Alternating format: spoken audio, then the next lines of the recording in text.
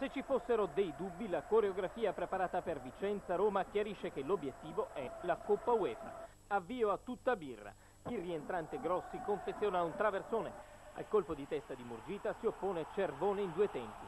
Gara spettacolare, Roma pericolosa con Terna, grande risposta di Mondini e con Annoni, palla sulla traversa. Il Vicenza aumenta il ritmo, la Roma è in affanno, il tiro di Ambrosetti è ancora insuperabile, Cervone che capitola però al 27 Lancio di Viviani, correzione aerea di Maini, tocca il portiere Maotero in agguato, spinge in rete. Maini prova ancora il tiro a volo, esecuzione da applausi, mira da rivedere. A tempo scaduto il fattaccio, Grossi trattiene fuori area Fonseca, l'arbitro accorda il rigore e dopo qualche esitazione espelle il Vicentino. Dagli 11 metri Fonseca fa centro. Passa un minuto, corpo a corpo tra Bjorklund e Fonseca.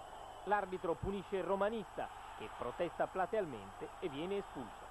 Ripresa, il Vicenza sbanda, rischia di capitolare, ma si riorganizza e torna in partita. Rossi ci prova due volte, ma trova Cervone e Petrucci sulla sua strada.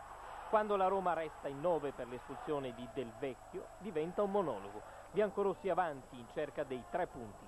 Cervone, dopo vari salvataggi, capitola a conclusione di una splendida azione biancorossa. Cross di Sartor, correzione di Maini, tiro di Lombardini e sulla ribattuta Murgita.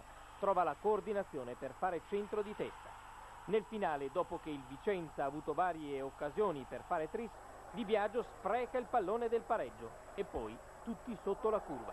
Abbiamo come obiettivo raggiungere il massimo delle nostre potenzialità e lo stiamo facendo, credo, quindi ne parleremo fra un paio di domeniche quando sarà la cosa un po' più vicina.